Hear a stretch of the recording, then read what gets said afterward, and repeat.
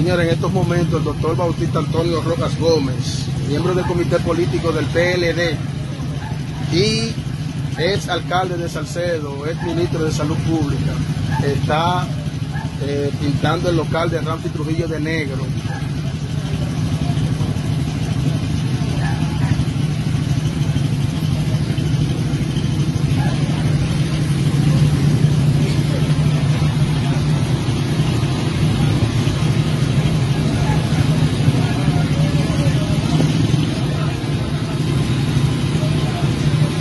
También vemos la alcaldesa de Salcedo, Mercedes Ortiz y Loné Mecho.